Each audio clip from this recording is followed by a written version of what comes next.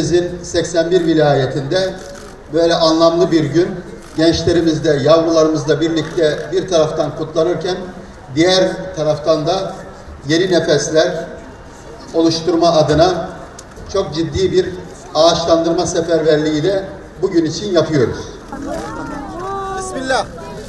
Evet. Hadi bakalım. Bu işi biliyor ya. Vallahi hepsi harika gitti. Tamam. Gel bir de. Hadi gel beraber. Hadi bismillah diyelim mi? Aferin sana. Hadi hadi. Gel.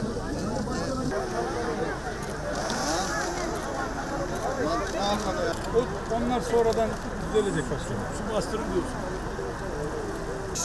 Ben şapkayı çıkarmak istiyorum. Ben de çıkart.